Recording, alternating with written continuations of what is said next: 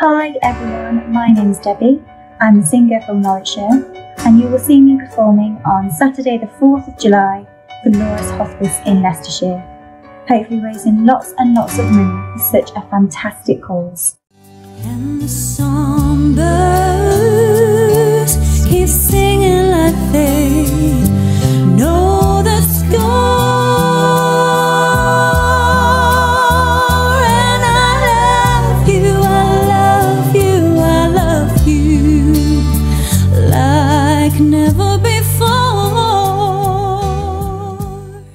The show is on between 2 and 8 and it's jam packed.